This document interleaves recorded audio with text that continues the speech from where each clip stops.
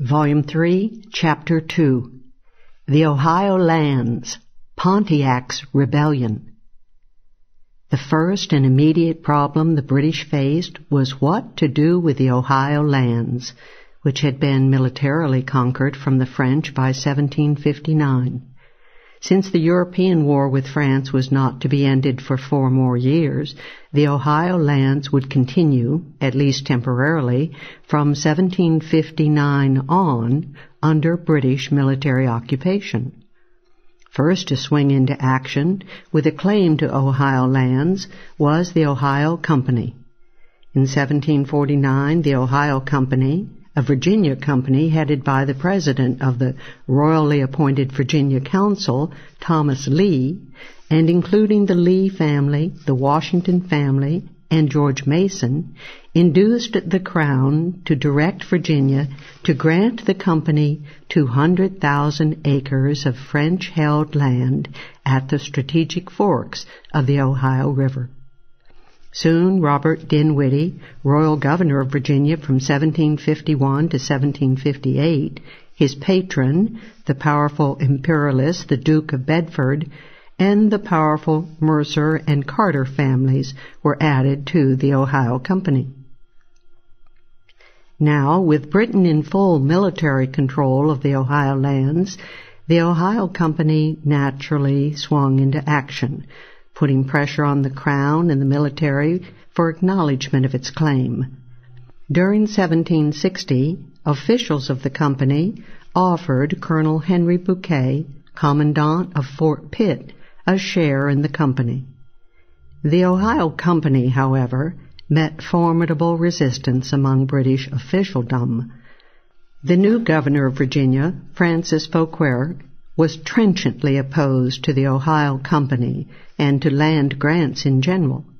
Furthermore, the British militia dug in for a lengthy stay and constructed many more forts in the Ohio Valley. Finally, the Earl of Egremont in November 1761 officially proclaimed a British policy of prohibiting all grants to settlements upon Indian lands, thus blocking the Ohio Company or any other settlement. As soon as the fighting ended in 1760, General Jeffrey Amherst, the British commander, indulged his absolute contempt and hatred for the Indians.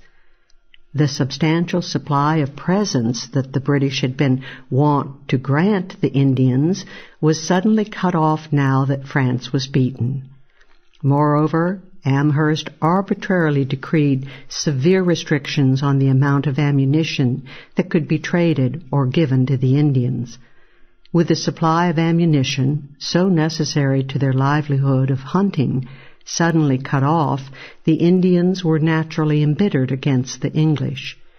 When the Indians protested, Amherst savagely told them, through intermediaries, that should they cause any trouble, they must not only expect the severest retaliation, but an entire destruction of all their nations, for I am firmly resolved, whenever they give me an occasion, to extirpate them root and branch. As a typical hardliner, Amherst scoffed at the suggestion that the Indians might be either capable of causing or courageous enough to create any real mischief.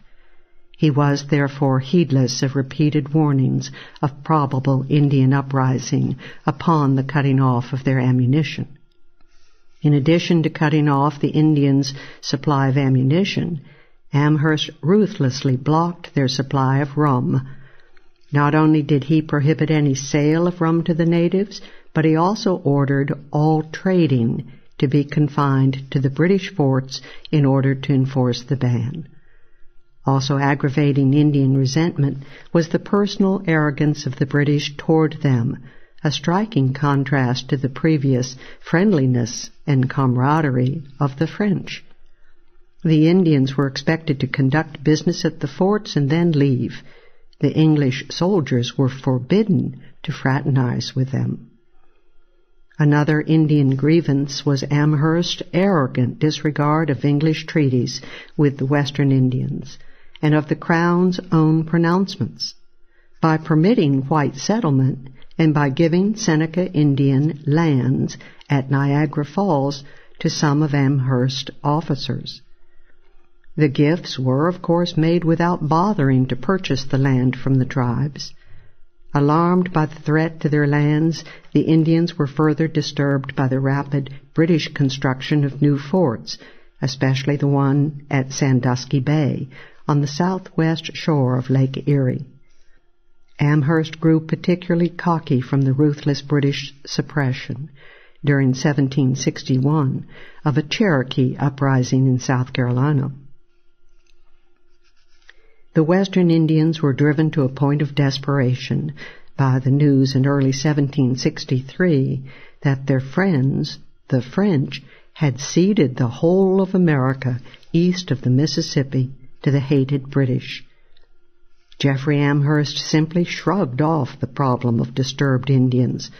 Whatever idle notions they may entertain in regard to the cessions can be of very little consequence. But General Amherst was soon to find out that the consequences were great indeed.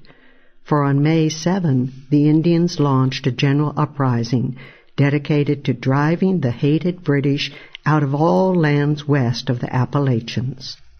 Headed by the great Ottawa chief Pontiac, the Pontiac Rebellion began with the massacre of a band of British soldiers near Detroit followed by the rapid conquest of all the forts in the northern Ohio Valley, including Fort Sandusky and Fort Miamis, now Fort Wayne, Indiana, with the exception of the great fort of Detroit.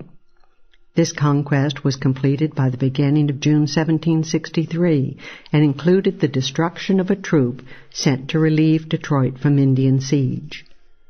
Hearing the great news of victory, the Indians further east joined the rebellion. In the Allegheny region, Forts Le Boeuf, Presque Isle, and Venango were quickly captured by Senecas and Hurons, and Delawares and Shawnees had even besieged Fort Pitt by the end of June. General Amherst perfectly exemplified the classical hardliner, the eternally tough enemy of appeasement. Like all hardliners, he was ignorant of the fears, aims, or motivations of those he designated as the enemy. He knew only that they were evil and contemptible, men easily cowed by the equivalent of a whiff of grape. Convinced that they would not dare to resist stern and harsh measures, Amherst found, as hardliners invariably do, that repression only provoked resistance, and suddenly the despised enemy was striking and winning on many fronts.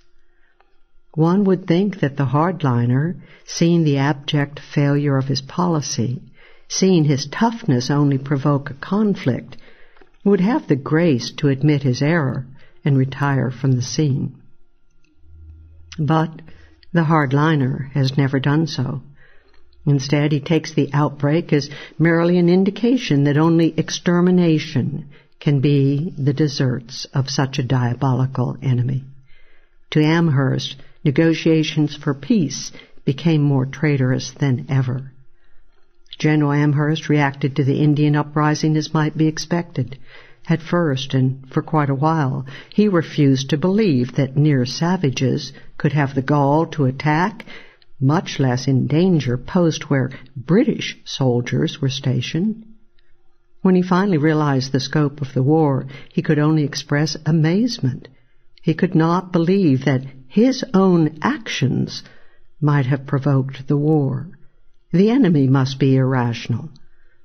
It is difficult, my lord, he wrote to the British Secretary of State, to account any causes that can have induced these barbarians to this perfidious attempt. Driven into frenzy, Amherst vowed, as is typical of the hardliner, ruthless extermination of the enemy. He set upon all-out punishment and frantically ordered his commanders to take no prisoners. As he ordered one troop, the Indians were to be treated not as a generous enemy, but as the vilest race of beings that ever infested the earth, and whose riddance from it must be esteemed a meritorious act for the good of mankind. You will therefore take no prisoners, but put to death all that fall into your hands. If the Indians were truly subhuman, then any means for their extermination was proper. Accordingly, Amherst in early July directed his chief aide, Colonel Henry Bouquet, a Swiss mercenary, to spread smallpox among the Indians. Colonel Bouquet, an apt pupil, answered that he would send blankets infected with smallpox as gifts to the Indians. Delighted, Amherst replied that you will do well to try to inoculate the Indians by means of blankets, as well as to try every other method that can serve to extirpate this execrable race.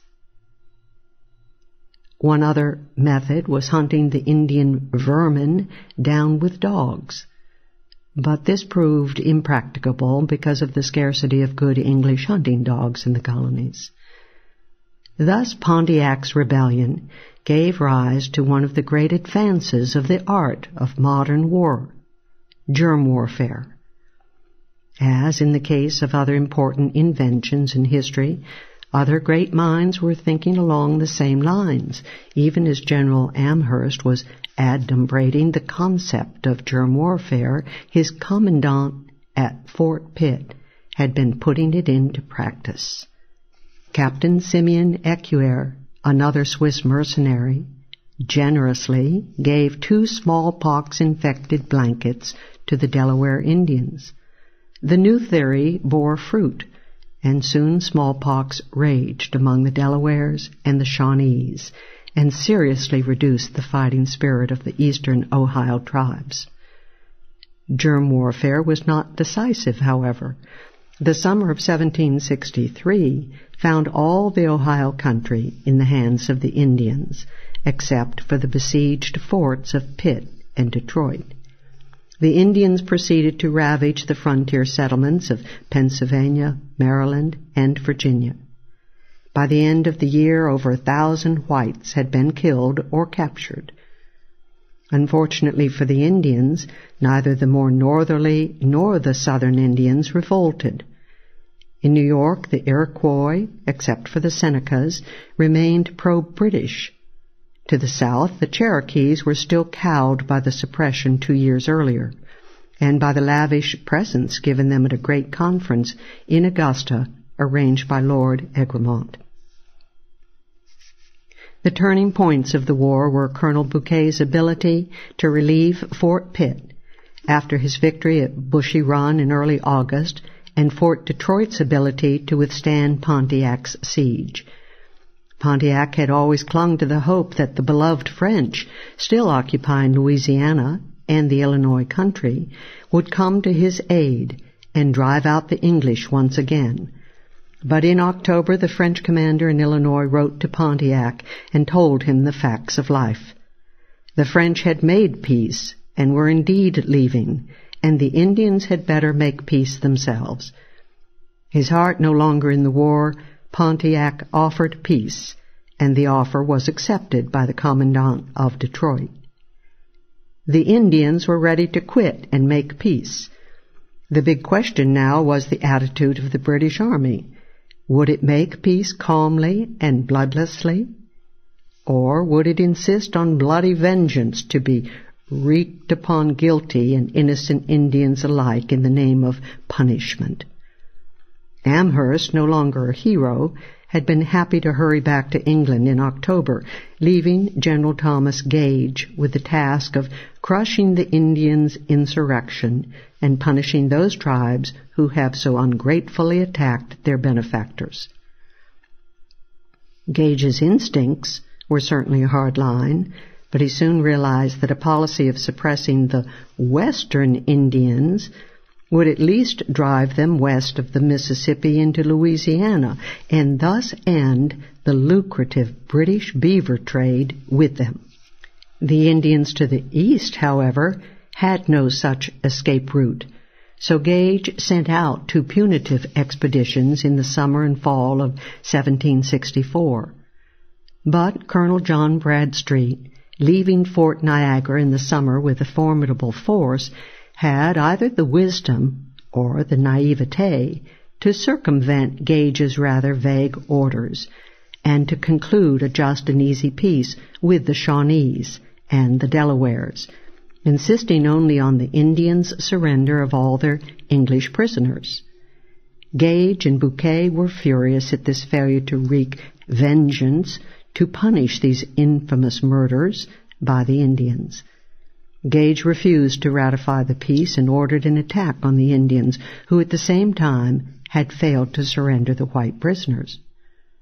Colonel Bouquet was now sent out in the fall of 1764 from Fort Pitt with orders to pillage and kill all the Shawnees and Delawares in Ohio that they could find and to burn all their villages. He was then to force the Indians not only to surrender prisoners, but also to deliver up the murderers of white traders, to pay a high indemnity to the traders, and to renounce all land east of the Ohio River. Bouquet, however, found out that the Indians had been preparing to surrender their prisoners to Bradstreet, and, out in the field, even the tough Bouquet agreed to forego punishment for the prompt surrender of captives. By mid-November, with Gage giving him carte blanche, Bouquet had concluded peace with the Delawares and Shawnees in return for the prompt return of white prisoners. Unfortunately, the British insisted on forced repatriation, including as prisoners all whites who had grown to prefer Indian life and half-breed children born in the Indian camps. At any rate, rationality triumphed over repression, and a formal and harmonious peace was concluded with Delawares and Shawnees in the spring of 1765 the only imposed indemnity was to be land granted as compensation to the English traders.